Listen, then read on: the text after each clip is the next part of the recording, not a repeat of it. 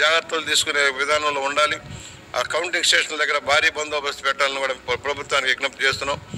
ఎవరైతే అధికార పక్షానికి వత్తాసు పలికారు అధికారులారా తస్మాత్ జాగ్రత్త.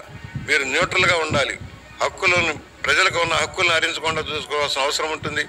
ఆ విధంగా చేయకపోతే జరిగిన పరిణామాలన్నీ కూడా ఒక దృష్టాంతంగా మిగలబోతున్నాయని సవినీయంగా మనవి చేస్తూ ఇవాళ ఇది ఈ ప్రజా తిరుగుబాటుకి వి- వైఎస్ఆర్ పార్టీకి గుణపాఠంగా ఉండబోతుందని సౌజన్యంగా మనవి చేస్తూ ఇది విజయం తథ్యం.